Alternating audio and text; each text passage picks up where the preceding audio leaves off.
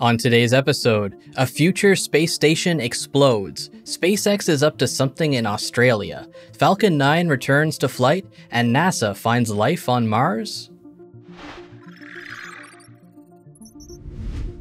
This is the latest prototype from Sierra Space of their inflatable Life Habitat module, and as you can see, it just exploded. Again. This is the second full-scale ultimate burst pressure test that Sierra has performed with the Life 285 design. What makes this different from the initial burst test conducted last December is the addition of a large metal blanking plate to the inflatable pressure shell. The idea is that this plate will simulate a window, or any other kind of rigid point that Sierra might want to use for mounting something like a robotic arm, an antenna, or other equipment. What they're testing is the strength of the interface between the soft goods shell of the module and the metal blanking plate. Windows are great to have, but they also create a potential failure point, so this is where the company is directing a lot of their high-speed cameras and sensors. The result that Sierra is looking for would be something similar to their 2023 test, which reached 77 psi of internal pressure before exploding.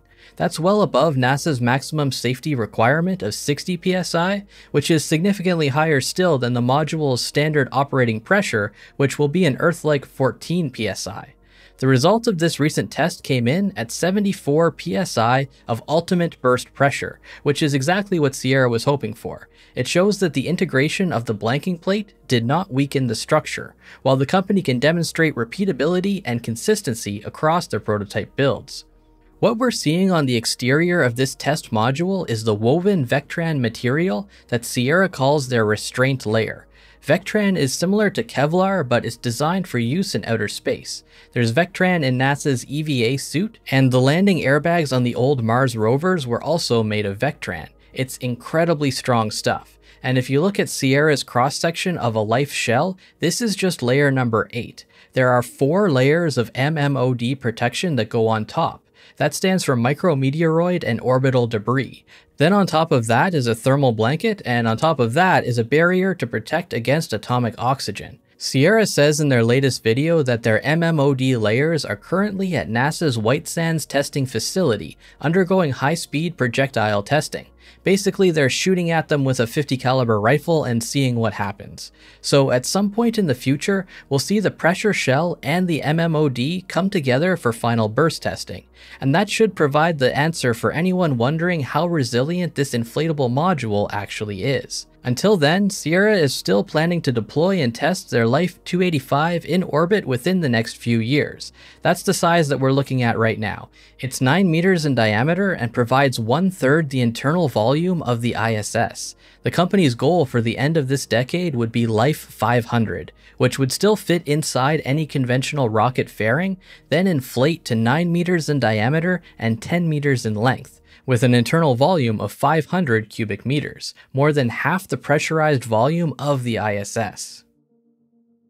SpaceX is up to something in Australia. According to a new update from Reuters, SpaceX is in talks with US and Australian officials to land and recover a future Starship upper stage off of Australia's coast. Now, Reuters does publish a lot of stories about Elon Musk companies that cite unnamed sources, most of which Elon claims to be fake news, many of which still turn out to be true, so this is just something to consider. Anyway, there are two big payoffs involved with a deal like this. For one, SpaceX gains a practical landing site for these slightly less than orbital test flights they've been doing.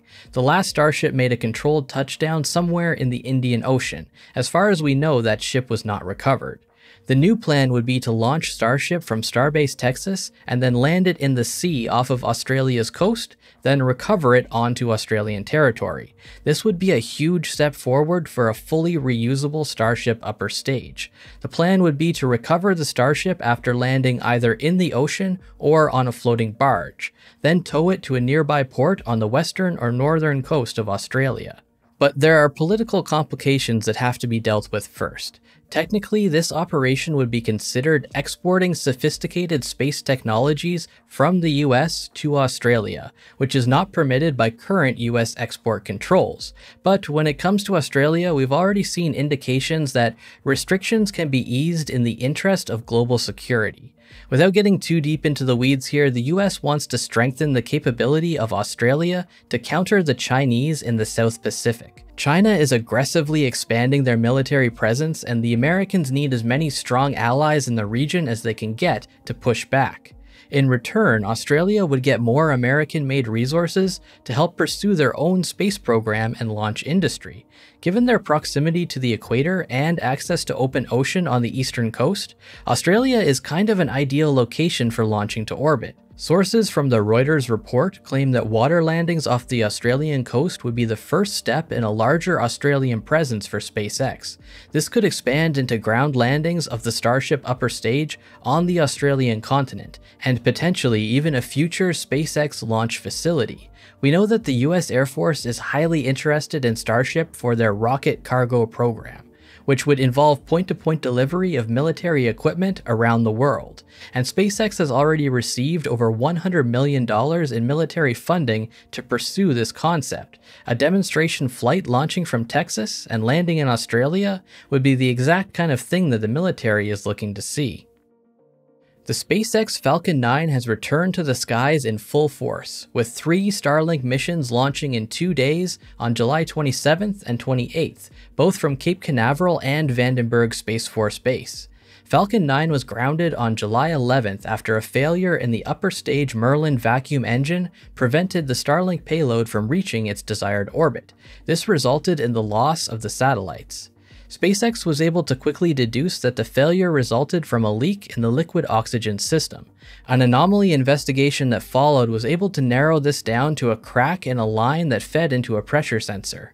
SpaceX says the line cracked due to fatigue caused by high loading from engine vibration and looseness in a clamp that normally constrains the line. The company's near-term fix for this issue has been to follow an old Elon Musk philosophy. The best part is no part. They simply removed the line and the sensor in question from subsequent Merlin vacuum engines. In an update published on July 25th, SpaceX writes, the sensor is not used by the flight safety system and can be covered by alternative sensors already present on the engine. SpaceX said it has filed a mishap report to the FAA, which oversees such investigations. Although this particular investigation apparently remains open, the FAA gave a green light for Saturday's launch nonetheless.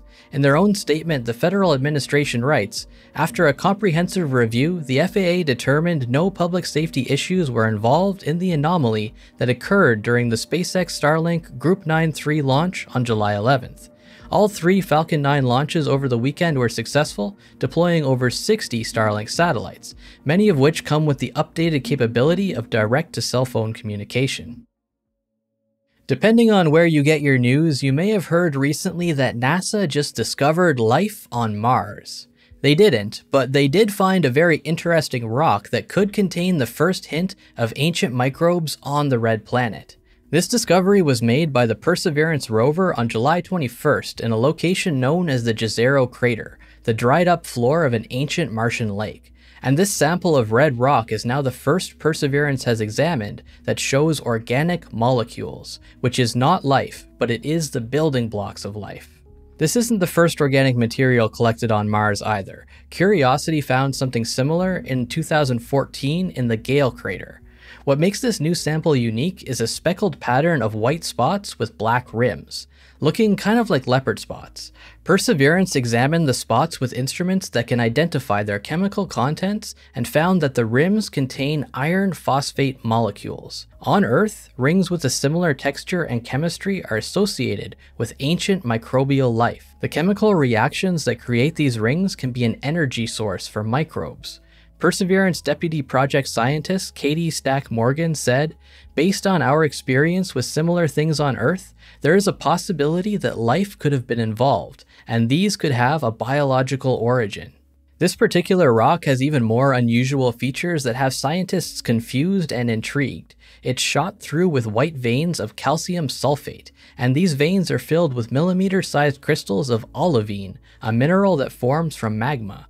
The inclusion of both the spots and these volcanic features in the same rock is a little bit mysterious, as they point to different origins. So figuring out how this rock formed could tell us how likely it is to have had the right conditions and temperatures to host biological life. Unfortunately, the only way to know for sure is to bring the rock to Earth for future study, which is a primary mission objective for Perseverance, although the infrastructure to support a sample return mission is currently on hold as NASA tries to figure out how they are going to pull off such a complicated mission architecture without the funding that they require. The current hope is that a private sector company will be able to provide the solution. Finding samples as intriguing as this can only help that case. It's easier to justify the cost of a Mars sample return if we are sitting on definitive proof that there is life beyond the Earth. Stay tuned.